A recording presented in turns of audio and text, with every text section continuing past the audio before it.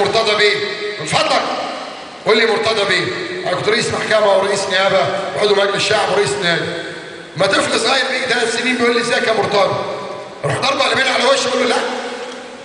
والكلمة مرتضى يا ولد. اوريك بس الهيافة. راجل عامل مداخلة الهايف عشان يقول لشوبير إزاي يقول السيسي يا سيسي؟ وإزاي وازاي سيبه يقول السيسي كده حاف ده بالعكس.